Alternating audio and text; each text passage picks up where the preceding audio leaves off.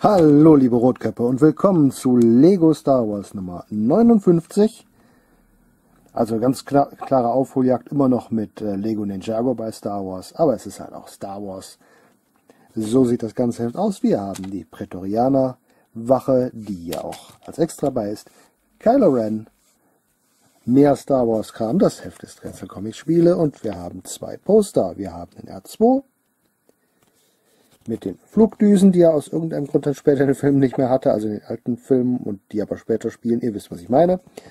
Und der Aufstieg Skywalkers mit Palpatine und das ist, glaube ich, das Poster, das ich auch in Vollgröße habe. Jawohl. Palpatine und Ray und Kylo. Genau. Ich war nicht sicher, wer die beiden Figuren unten sind. Nicht einer davon ist ein Skywalker. Ich meine, ja, okay. Ah, wenigstens ist Kylos Mutter noch die Schwester von Luke. Immerhin.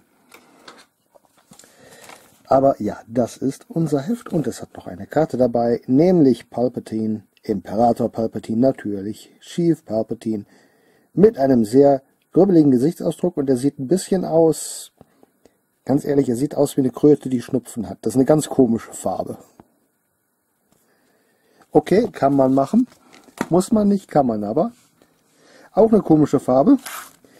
Die Prätorianerwache. Die liegt dabei, weil bei Lego keiner die Feuerwehrsets kauft und deswegen ganz viel rotes Plastik übrig ist. Logisch. So soll sie aussehen. Eher so als so. Das ist ein bisschen groß. Ist ab 6. Achtung, er wirkt eure Kinder. Wir kennen den Kram. Unsere Größen. Vergleich ist ein roter Lichtschwertgriff. Und das war definitiv keine richtige Grammatik. Aber macht nichts schneiden wir die wiederverschließbare Verpackung, denn es ist schließlich ein Disney-Produkt, einfach mal auf. Also es ist eine wiederverschließbare Packung, was ein Disney-Produkt ist und nicht... Ihr wisst, ja. Ich sage heute sehr oft, ihr wisst, was ich meine. Das ist nicht gut. So, wenn das jetzt auch noch da rauskommt. Knipp. Und da ist noch was drin. Das hält sich halt alles in den Tüten fest. Das möchte gar nicht zu mir kommen, das Zeug. Dann haben wir unsere Wache. Und ich fange mal einfach hier mit dem Körper und den Beinen an. Es erinnert etwas an eine Sturmtruppe, aber ist auch sehr, sehr anders. Ja, sehr stark gepanzert. Hier der Torso im Aufdruck. Ihr seht hier ganz kleine Brustplatte mit den Armen und den Halsaussparungen. Das Ganze setzt sich an den Beinen fort. Und auf dem Rücken haben wir hier auch nochmal die starken schwarzen Linien für so eine Art Panzerung und alles sehr, sehr rot. Er hat diese sehr schönen Schulterschütze, auch beidseitig, die, glaube ich, neu sind hierfür. Kann sein, dass die bei Nexon jetzt schon mal vorkamen. In Rot sind sie definitiv neu. Und sehen sehr nett aus. Er hat kein Gesicht. Das ist einfach nur, hoppala, einfach nur ein roter Kopf. Kein Gesicht, keine Bedruckung. Einfach nur rot. Dafür hat er ja einen Helm auf und wir dürfen ja alle nicht wissen, was in dem Helm ist. Dann wären die Prätorianer ja nicht mehr so mysteriös und geheimnisvoll, wie sie sein sollen. Und der Helm sehr schön detailliert mit den Riffeln. Hier leider keinerlei Bedruckung. Hier hinten auch nochmal detailliert geformt. Die Form ist schön, die Farbe ist halt sehr, sehr rot. Und wie gesagt, ein Lichtschwertgriff in Rot. Seltene Farbe für einen Lichtschwertgriff. Schöne Sache. Darauf kommt was auch immer das hier ist. Eine Harpune? Ich finde, das sieht aus wie eine Harpune. Wir haben hier also eine prätorianische Wache auf Wahljagd. Okay, finde ich ein bisschen schade, dass da nicht die Waffe ist, die die auch äh, standardmäßig im Film tragen, sprich diese Lanze, die so ein bisschen aussieht wie eine Saufeder, sondern halt, ja, das hier. Nahkampfharpune, was um Himmels Willen ist, stellt das da? weiß es nicht. Aber hey, die Lanze kann man sich relativ einfach aus relativ häufigen Teilen bauen. Das Einzige, was dann fehlt, ist ein roter Lichtschwertgriff. Und hey, guckt mal, was hierbei ist. Ein roter Lichtschwertgriff.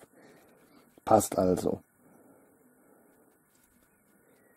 Gut, und ähm, als Figur ist die prätorianische Wache halt wirklich unspektakulär. Sie ist sehr, sehr rot. Ähm, ein, zwei davon kann man immer brauchen, wenn man Imperator oder Snokes halt irgendwo darstellen will. Ich glaube, es gibt gar keinen Snokes von Lego. Hm. Macht nichts, dafür gibt es einen Imperator. Dann kriegt der halt die Prätorianer. Oder Kylo. Aber ja. Gesuchte Figur, ich finde sie aber irgendwie unspektakulär. Aber okay, ist doch mal dennoch ganz nett, dass jetzt offenbar öfter mal eine Figur im Lego Star Wars Magazin steckt. Gucken, ob das in Zukunft so bleibt. Nächsten Monat jedenfalls nicht. Nächsten Monat kommt ein kleiner A-Wing, der sieht sehr süß aus. Am 23. Mai. So sieht das Heft aus. Und ansonsten ist das nächste Lego-Heft, das rauskommen soll am 28. April, Lego Jurassic World. Bis da, ah nein, Moment. Da wir gerade bei Star Wars sind. Ähm, ja, das Downtown befindet sich noch in der Weiterentwicklung. Ich habe es auch schon ein bisschen weiter gemacht, habe aber noch nicht ganz alle Teile. Das kommt dann auch in absehbarer Zeit, wobei Lego zurzeit gerade leider sehr lange Lieferzeiten ankündigt für Teile. Muss ich mal schauen. Wenn ich die Teile habe, dann kommt's und dann werde ich auch nicht nur mal eben das Ding zeigen, sondern auch genauer zeigen, wie ich es dann zusammengebaut habe, wenn ich denn mal zufrieden bin damit. Nun aber bis dahin.